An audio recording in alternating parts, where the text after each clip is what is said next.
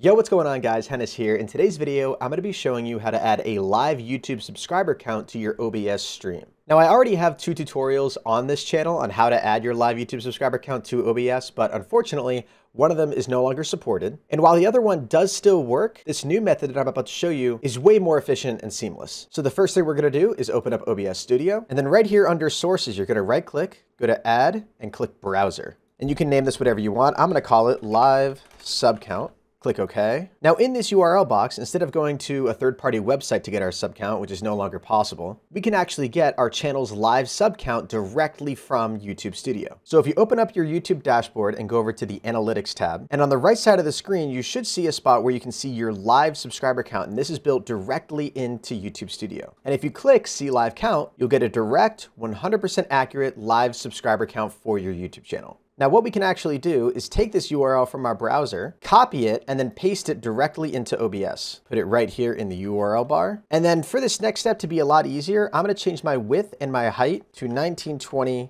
by 1080. And then once I've done that, just click OK. Now once we do that, we should see a login window in our browser source. Now, in order to see our live subscriber count, we have to log into our YouTube channel. So we need to actually interact with the browser source in order to type in our email address and password. So to do that, right click on live sub count and click interact. And now we can actually type things into the browser source. So the next step is just to log into your YouTube channel as you would normally. Type in your password, click next, now you may get a two-factor authentication prompt where you either have to put in a Google Authenticator code or verify notification on your mobile device. So if you get a message like this, go ahead and confirm that now. And now if you did everything correctly, you should immediately be greeted with the same page that we copied directly from our browser. You should be able to see your live subscriber count directly in OBS. So we can actually exit out of this interacting preview window here. And now if you hold down left alt on your keyboard and click and drag on the edges of your browser source, you're able to easily crop it to only show your live subscriber count and get it just where I want it right there. And there you go. Now you have your live YouTube subscriber count built directly into OBS. And the best part about this is you didn't need to install a third-party plugin in Chrome like with the Social Blade extension. And you also don't need to do any window or display capturing in order to see your live sub count. This is directly in OBS. So you can close out of this browser in the background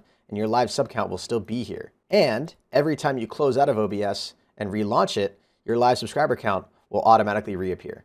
And actually, quick tip here, now that you have your live subscriber count on your stream, odds are you're gonna be getting a lot more subscribers. So I would leave a little bit of extra space to the left and right so that as your sub count grows, it doesn't get cut off by the cropping that you've done here. So now when your sub count inevitably triples in your next live stream, you'll have enough room to display it here. But ladies and gentlemen, that's to do it. This is the easiest and most seamless way to add your live YouTube subscriber count to your OBS stream. If you guys enjoyed this video or found it helpful in any way, please be sure to leave a like. I would really appreciate it. And also be sure to subscribe to Pro Tutorials if you're new. This is what I'm all about over here on this channel. But that's to do it for me, and I'll see you guys in the next one. Until next time, everybody, keep gaming, and as always, stay cool. Adios.